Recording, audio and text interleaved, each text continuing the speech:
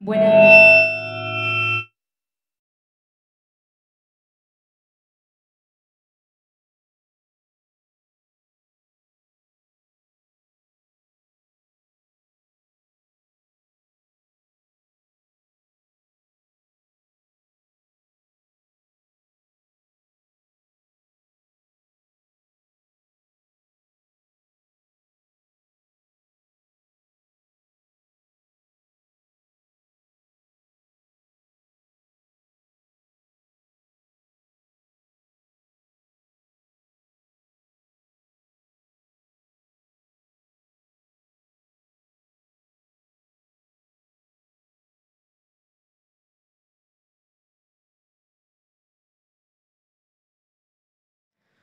Buenas noches, señoras y señores. Bienvenidos a la presentación del libro Cartas al futuro periodista de Alcibiades González del Valle, prolífico escritor y destacado docente de la carrera de periodismo de la Facultad de Educación y Ciencias Humanas de la Universidad del Norte. Primeramente, escucharemos a la señora Vidalia Sánchez, directora de la editorial Servilibro, cuyo sello editorial acompaña a esta importante obra. Gracias. Muy buenas noches a todos y a todas. Para la editorial Servilibro es un gran honor volver a presentar otro libro más del maestro Alcibiades González del Valle. Y el que hoy presentamos, Cartas al futuro periodista, es uno de los tres libros sobre el género periodístico que él escribió. Primero, estudiar periodismo para qué. Segundo, diccionario de la prensa paraguaya y el que hoy presentamos, Cartas, Carta al futuro periodista. Realmente, Alcibiade, muchas gracias por confiar en el sello editorial de Servilibro. Y un gracias especial a la, Uninorte, en la persona de su rector, el doctor Juan Manuel Marcos, que siempre apoya eh, todo lo cultural, en especial apoya la difusión de los libros paraguayos. Así es que muchas gracias también a Uninorte y a todos ustedes por acompañarnos hoy. Muchas gracias.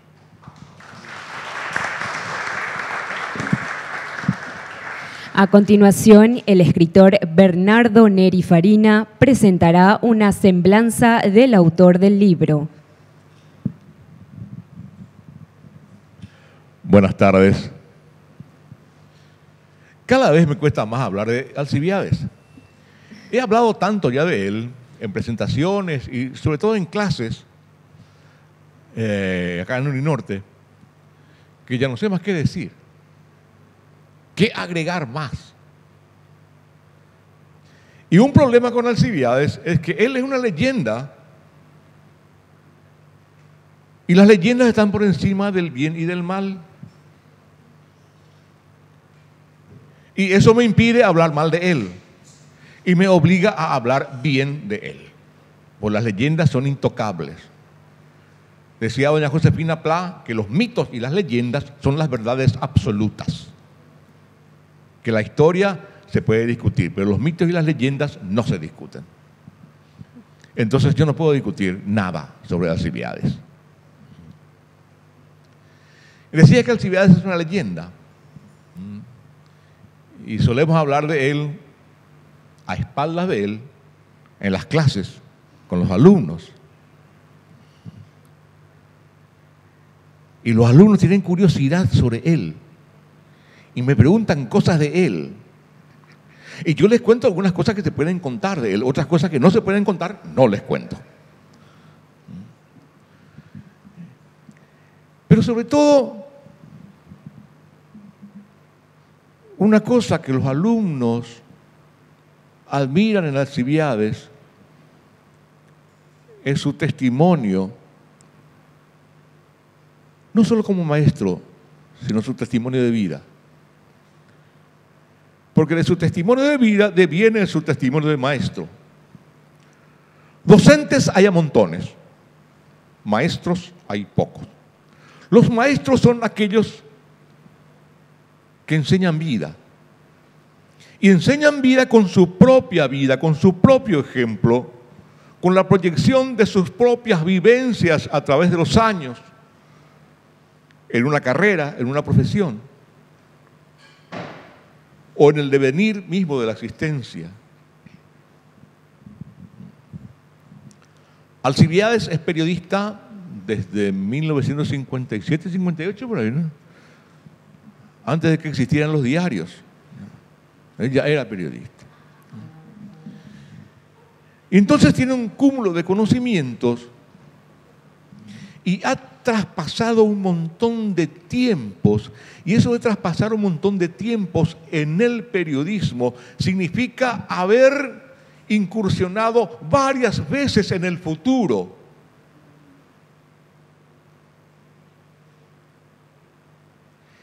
Y eso de, que haya transcurrido varios futuros en su vida hace que él tenga la capacidad de visualizar lo que se venga por delante. Porque una de las características de, de Alcibiades es que él jamás se quedó con un presente.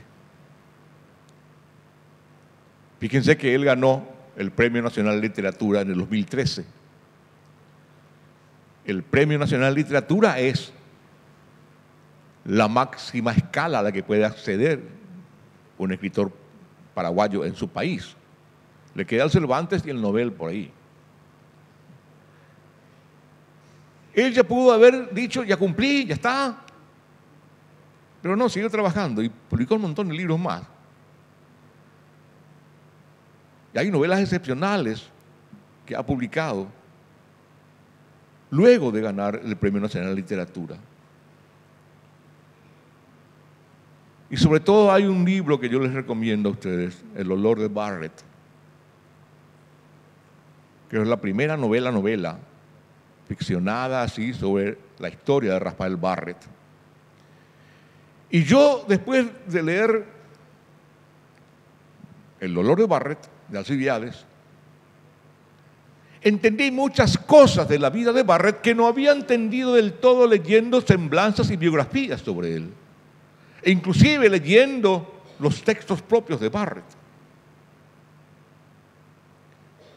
Porque Alcibiades aúna la capacidad del, del periodista, del cronista, la capacidad de la, búsqueda sabia del dato y la información que, que convierte después en conocimiento, aúna todo eso con la calidad narrativa que le dieron los años de narrador, de novelista, de dramaturgo, entonces sale una obra sobre Barrett que completa aquellos conos de sombra que dejaron las biografías sobre este español al cual según, eh, al cual, según eh, Augusto Roa Bastos los paraguayos les debemos el saber escribir. Barrett nos enseñó a escribir a los paraguayos, decía Augusto Roa Bastos, en un magistral prólogo que escribió para esa gran colección de obras que es El olor paraguayo de Barrett en una de sus ediciones. Entonces Alcibiades, que comenzó siendo cronista, eh, libretista de radio, después periodista, en aquel legendario diario El Independiente que tuvo vida efímera, que creo que era don Víctor Simón, don Víctor Simón, uno de los maestros del periodismo, y uno de, el que creó eh, la enseñanza universitaria del periodismo con Oscar Pacielo en aquel viejo instituto de periodismo de la Facultad de Filosofía de la UNA. Fueron y Oscar eh, Pacielo los que sentaron la base para que el periodismo pasara a ser una carrera universitaria. Desde aquel lejano tiempo del, Independiente y después en ABC, desde 1967, Alcibiades ha desarrollado una carrera, extraordinaria. Y una carrera en la que se, juntaron esa capacidad que fue creándose él mismo como periodista y después como escritor, narrador, que le permitió con el tiempo convertirse en un maestro. Que un maestro, un maestro del cual los estudiantes de Uninorte disfrutan hoy. Pero él no se conformó con eso de acudir a las clases y convivir con los chicos y las chicas y de proyectar sus vivencias y sus conocimientos en las aulas para que esos chicos y esas chicas supieran la esencia misma del periodista desde un periodista esencial y proyectaran su carrera futura sobre la base de los conocimientos que les expone un maestro como Alcibiades. Él no se conformó con eso y se puso a escribir textos para llenar una bibliografía que no existe prácticamente en la carrera de periodismo. Los que estamos, los que damos clases en, periodismo, generalmente elaboramos nosotros mismos los programas y desarrollamos los temas nosotros mismos, porque no hay una bibliografía que se adecue a las necesidades propias que nosotros vemos en los chicos y en las chicas acá. O hay, por ejemplo, libros escritos en España, en Estados Unidos, en otros países sobre, periodismo, pero te das cuenta que están, están escritos esos libros por tecnócratas, por burócratas, que gente que quizás no tenga la calle que necesita un periodista para formarse integralmente. Periodismo no se hace en gabinetes, periodismo se hace en la calle y con la gente. Quien no estuvo en la calle y con la gente difícilmente llega, llegue a entender lo que es el periodismo y llegue a saber la proyección que tiene el periodismo. Sobre todo en un tiempo como hoy, en el que el periodismo, el periodista es un ser esencial en la vida. Hasta hace poco, hasta hace unos años, cuando, comenzó cuando comenzaron a aparecer las redes sociales y todo ese tipo de cosas, muchos apocalípticos dijeron que el periodismo era una carrera en vías de extinción, extinción y el periodista era un profesional en vías de extinción. Porque ya cualquiera podía ser periodista, porque cualquiera podía levantar en Facebook o en Twitter o en Instagram una información. Hasta que se dieron cuenta que no, de que la proliferación de informaciones, de opiniones eh, de todo tipo, levantados por, levantadas por gente que uno no sabía ni de dónde, creaba tal confusión en el mundo que era necesario parar la mano y llamar a gente que supiera discernir qué era lo cierto, qué no era lo cierto. Y entonces se dieron cuenta de que la única persona que podía interpretar todo ese cúmulo de informaciones que hay en las redes, en las nubes, es una persona formada profesionalmente, intelectualmente y éticamente. Profesionalidad, cultura y ética. Son tres aspectos que tenemos muy en cuenta en la carrera de periodismo en Uninorte. Tres aspectos de los cuales Alcibiades es un puntal desde, aquel, desde el viejo maestro de Riciar Kapuscinski, que decía que para ser buen periodista hay que ser buena persona. Y yo agrego eso, lo que me había dicho mi gran maestro Fernando Casenave, para ser buen periodista negro tenés que ser una persona culta. Con maestros como actividades tenemos la proyección de cultura, ética y profesionalismo. Y de estos libros que nos expone ahora Alcibiades, son tres libros más, le, agrego un libro más, eh, porque es la competencia. periodistas, periódicos y periodistas. Era un chiquito que hicimos, una colección de, que hicimos de puro tecoreí, pero que lo hicimos muy lindo.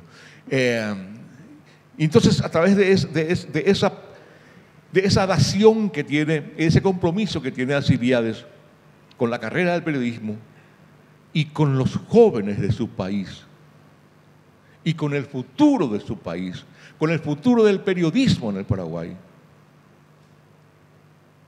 Alcibiades entrega su vida, su alma, su amor a la profesión a través de estos libros.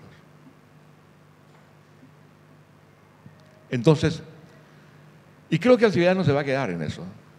Eh, conociéndolo un poquito como lo conozco, así cuando a vez en cuando me llama o le llamo y me dice, escribí este libros y se me da rabia, porque yo pienso en un libro, ya publicó tres.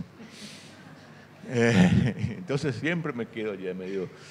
Eh, eh, pero esa relación de actividades, sobre todo para los chicos y las chicas jóvenes, para los futuros periodistas, es algo que tienen que aprovechar. Alcibiades nos entrega su vida en sus libros y sobre todo nos entrega su calidad humana y profesional en cada clase. Y festejamos cada día que convivimos con Alcibiades González del Valle. Muchas gracias.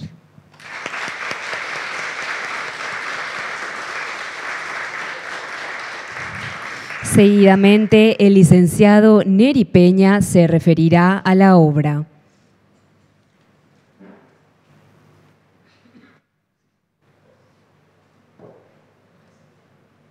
Bueno, los que tenemos muchos cachivaches tenemos que venir a la tril sí o sí, perdón.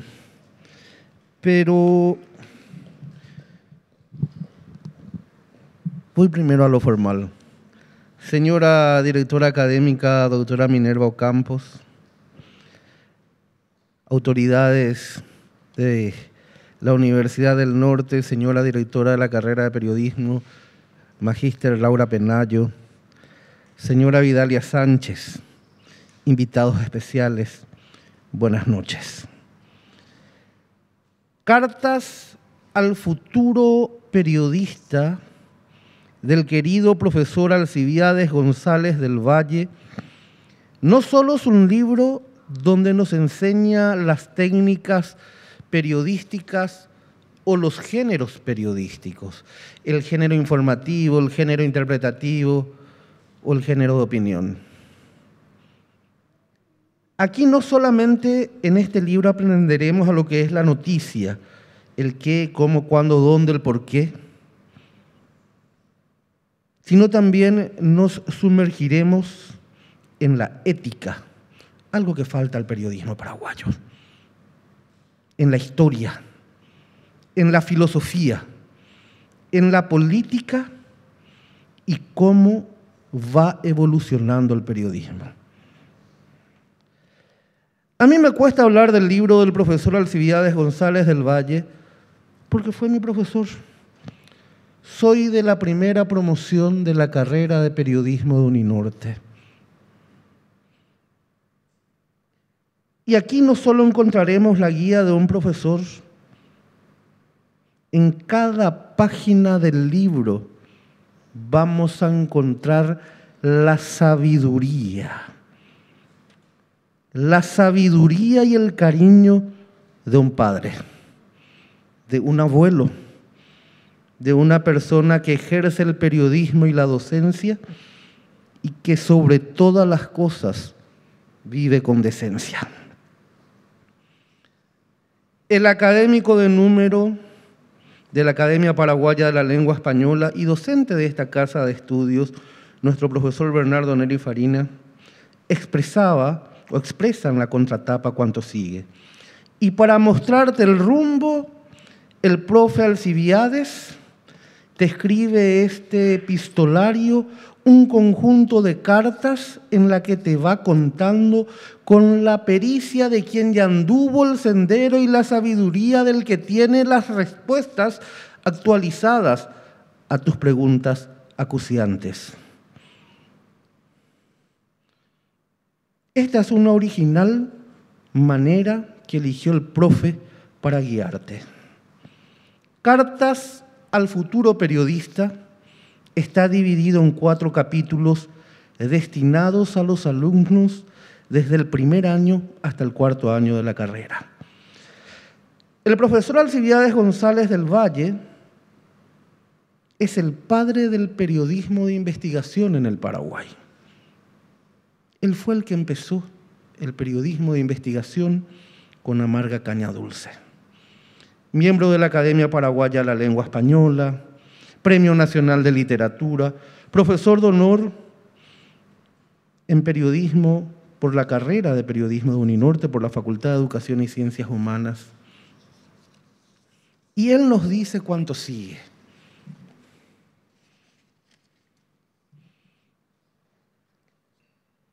Alentado por la intención de ser útil a quienes se inician o piensan iniciarse en la carrera periodística, escribí estas cartas que expresan mi prolongada actividad en la prensa nacional aprendí muchas cosas. Me tocó vivir como profesional gran parte de la dictadura y hoy esta democracia, regida por una constitución nacional que asegura la libertad de prensa y expresión, pero no solamente dos hechos políticos, también el asombro de las nuevas tecnologías, del sistema Morse a Internet, a las redes sociales y a los periódicos digitales. Antes costaba mucho trabajar porque teníamos el tiempo, el espacio. Hoy yo puedo inmortalizar este momento con un simple hecho. Levanto el celular, saco la fotografía y esto queda en el recuerdo. Puedo alzar en la red y miles de personas van a ver. Y el profesor Alcibiades González del Valle no se quedó en el tiempo. Aquí en el libro también nos habla de eso. En el capítulo 1 habla al alumno del primer curso. 3 de marzo. Estabas esperando con ansiedad este primer día de clases. Por algún motivo, siempre misterioso, desde hacía algún tiempo, tal vez desde la niñez, Creías que el periodismo sería tu razón de ser, la profesión que te acompañaría siempre. Las veces que veías la televisión, leías un periódico, escuchabas la radio, te veías como protagonista de uno de esos medios. Con eso inicia el capítulo 1. Va al que está comenzando la carrera y le da una recomendación al final del capítulo, aparte de los ejercicios. Tenés que huir de las ideas y las palabras superfluas. Y ese consejo se aplica a la vida, a todos. En el capítulo 2, la carta va dirigida al estudiante del segundo año, a un alumno del segundo curso. El primero de julio dice la carrera que has elegido tiene una larga historia de éxitos y de fracasos. De éxitos cuando influyen en el pensamiento y las conductas ciudadanas y de fracasos, cuando el autoritarismo se hace dueña de la libertad de expresión. Pero aún en este caso, la frustración es aparente porque prueba el poder de la palabra tan temido por las dictaduras. El 11 de julio es una fecha especial, profesor cumpleaños. Recibió una carta por su cumpleaños. Pero me sorprendió la respuesta que da al alumno unos días después, donde él habla de su labor. No, mi querido joven y amigo, lejos estoy de preocuparme por la edad que tengo. Tus buenas acciones te permitirán llegar a la orilla de, lo desconocido con la tranquilidad de quien ha cumplido honradamente su labor. Y es cierto, es uno de los profesores que casi nunca ha faltado dentro del sistema educativo de Uninorte. Siempre ha cumplido y siempre sigue estando al pie del cañón. Al alumno del tercer curso, en el capítulo 3, habla con una carta del 2 de agosto, mi respuesta a tu carta acerca de la exigencia del profesor para que leas los periódicos tradicionales o digitales, tiene la intención de que estés informado y mejores tu redacción. Es parte del ejercicio. Por supuesto, si no sabemos leer, no vamos a saber escribir. Y aunque hagamos televisión, o cualquier medio digital, TikTok, lo que sea, en las redes sociales, tenemos que saber escribir.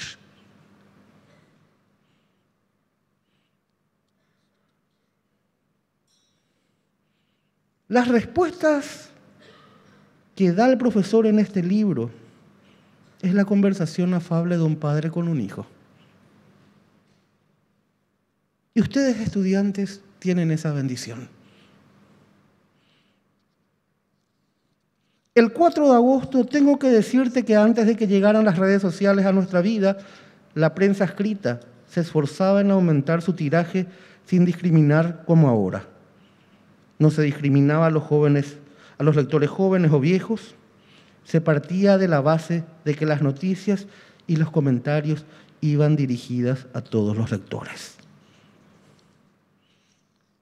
También nos habla de cómo seguir adelante. El 10 de septiembre nos habla de la ética eso que los periodistas tenemos que tener dentro de nuestro ADN. Sin ética no va a haber libertad de prensa.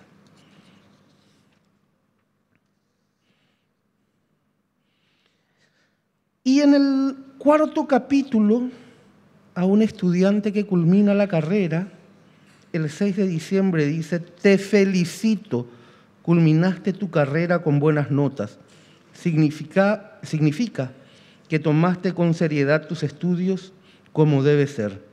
El éxito acompaña los esfuerzos. Pero también en el libro, el profesor habla del alumno que se desanima, de aquellas personas, de aquellos estudiantes que llegan a la mitad de la carrera y ya no encuentran salida y los anima a seguir estudiando, a seguir capacitando. Y hoy, en este auditorio, quiero decir a los estudiantes de periodismo, yo he aprendido a reír cuando todo está bien, también cuando algo anda mal. Aprendí a no afanarme por nada, que las pruebas no son el final. Aprendí a no quedarme en el suelo porque el proceso es temporal. Señores, ustedes tienen el sello de la victoria. Tienen a los mejores profesores dentro del sistema educativo. A brillar, señores, a brillar. Existen profesores que nos marcan el alma. En mi caso, yo hasta ahora me acuerdo de mi profesora de primer grado se llamaba Migdonia. ¿Por qué me acuerdo de ella? Porque me enseñó a leer y me mostró un mundo nuevo. En la universidad tenía un profesor de filosofía del Estado. Yo odiaba la filosofía, odiaba la literatura. Con paciencia me enseñó Juan Manuel Marcos. Y redactar, ni qué hablar. La redacción era lo peor ¿Quién fue mi profesor que me enseñó a redactar? Alcibiades González del Valle. En la radio tuve otro maestro, Humberto Rubín. ¿Cómo olvidarse de las personas que dieron todo de sí para que uno aprenda? Es imposible. Señores, aquí tienen a profesores que enmarcan vidas. Reitero, quiero verlos triunfar. Quiero verlos triunfar, porque ustedes son el presente del periodismo. Y no saben el orgullo que tengo cuando los veo triunfar. Profesor, quiero robar algo de Eduardo Galeano. Ojalá seamos dignos. Ojalá. Muchas gracias.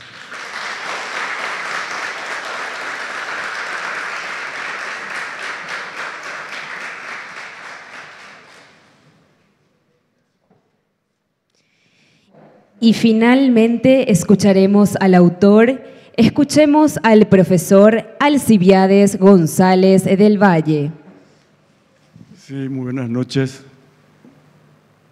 Comenzaré por agradecer a las autoridades de la universidad por este espacio que nos ha regalado. Y lo bueno de estos actos es que uno escucha cosas muy lindas y ve caras muy queridas. Mi amigo Bernardo estuvo hablando de leyenda y me hizo acordar de una anécdota contada por el gran poeta don Félix Fernández. Y cuenta que Stroessner había invitado a su despacho, no sé por qué artículo, y estuvieron hablando así y Stroessner le dice, este, señor Fernández, usted es una leyenda. Pues las leyendas nos comen, señor presidente, habría sido su respuesta, que no creo que lo haya dicho, pero es una anécdota que pinta el cuerpo entero la calidad de la leyenda. Este libro nació de una conversación que tuvimos en un grupo de chicos, chicas, y me estuvieron preguntando eh, sobre algunas cosas que están en los libros. Y después uno de ellos me envía un cuestionario, mi correo, y me llamó la atención las preguntas que me hacía. Y le respondí. Y entonces fue el origen este, de este libro. ¿no? Está diciendo, bueno, voy a ampliarlo, voy a, inventarme preguntas y otras que sí están, lo he recibido. Y con esa respuesta yo fui contando un poco la historia mía como profesional, porque tengo muchas cosas que, contar, porque estoy, como suelo decir, casi desde la paloma mensajera hasta, hasta Internet, que he pasado por todos esos procesos y necesariamente conozco la historia del periodismo paraguayo por dentro y por fuera. El sistema Morse, por ejemplo, que era muy común en mi tiempo, en el periódico, y teníamos a un señor que era telegrafista y después me explicó, cuando había problemas, que el sistema Morse eran líneas largas y venía un viento y hacía un desastre. Entonces él tenía que, como la página internacional tenía que publicarse, Después me pregunté cuántas mentiras habrá inventado porque eh, tenía que llenar la página. Hasta pasar el día de hoy en que ya no, no hay ninguna posibilidad de cometer esos errores eh, y esas irresponsabilidades. Aprendí también que es un buen negocio ser honesto. Algunos se apresuran mucho y comienzan a hacer cosas y va por un camino así, muy corto, en algún momento cae. Yo tenía un mecánico automóvil en el que confiaba muchísimo hasta que me di cuenta que me estaba realmente robando en los supuestamente eh, las cosas que compraba para el vehículo y solamente usaba otra vez el repuesto viejo. Y eso enseguida se supo, se corrió la voz, porque a muchas personas le hizo lo mismo. Resumiendo, hoy está vendiendo en un carrito, está vendiendo verduras. Así terminan los deshonestos. Y en periodismo la honestidad es doble, porque es moral y es económico. Todavía existe la leyenda de que ser periodista es un poco buscar morir de hambre. No, Neri y yo vivimos bien y nos hicimos en otra otras cosas en la vida que escribir.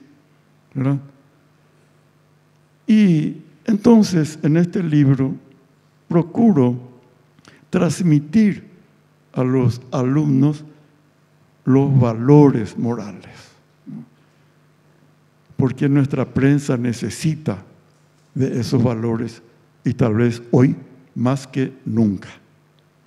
Entonces, me pone muy contento estar en contacto con estos jóvenes de hace muchísimos años y no sé cuánto más voy a estar acá, pero mientras tanto voy a continuar hasta quizás con otro libro.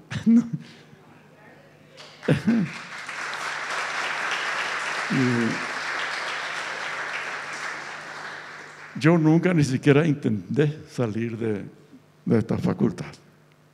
Tendrán que seguramente echarme si es que no me quieren ver más, pero voy a seguir estando mientras se pueda. Y mis agradecimientos, desde luego, a mi querido amigo Neri, quien nos deja por tres meses. A partir del cuarto ya vamos a salir en la calle a pedir que regrese. También mis agradecimientos, desde luego, al rector, al querido amigo Juan Manuel Marcos, a quien le debo una amistad así, muy de lejos y muy entrañable. Y a ustedes, por supuesto, por la presencia. Muchísimas gracias.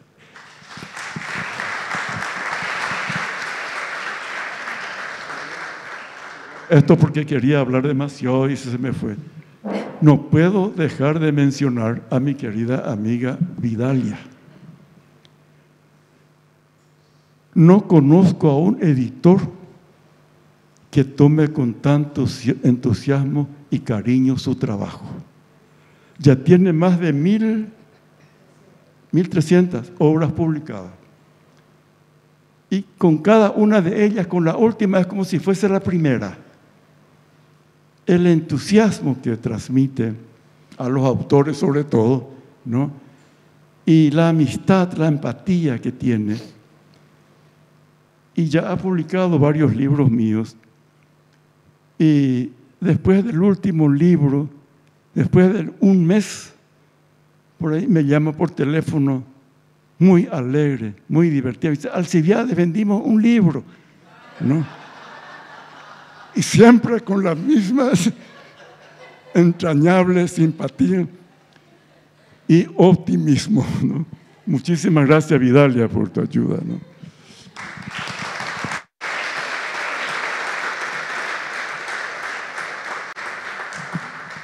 A continuación, haremos una breve pausa en la transmisión mientras nos preparamos para la parte artística del programa.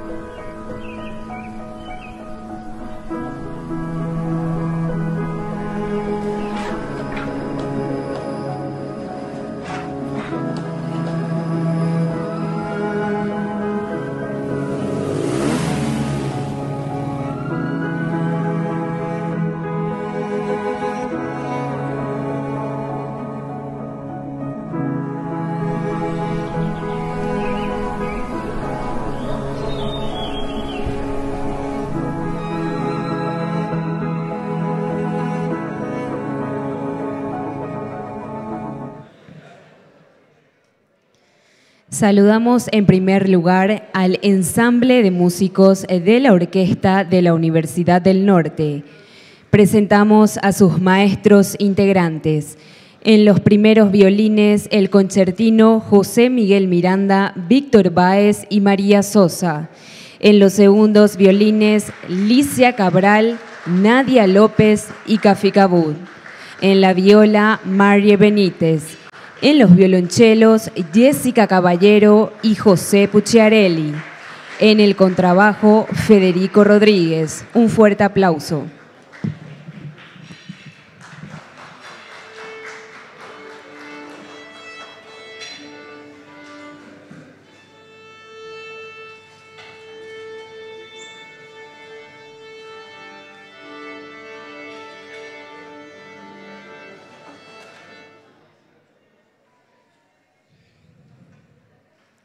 Dirige esta agrupación el director de la orquesta de la Universidad del Norte, maestro Fabián Vivé.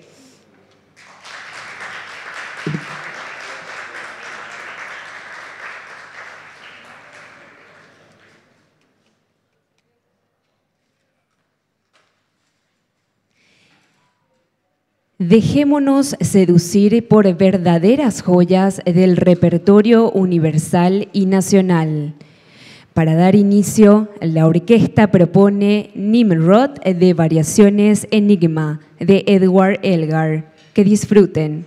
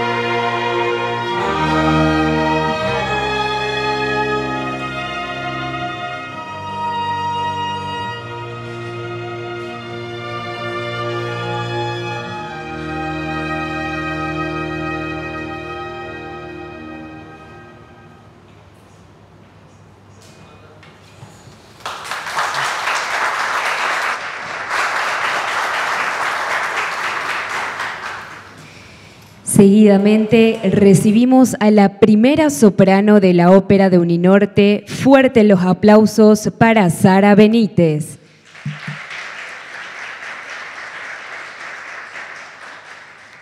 Sara interpretará Hazme un sitio a tu lado, con letra de Juan Manuel Marcos y música de Carlos Noguera.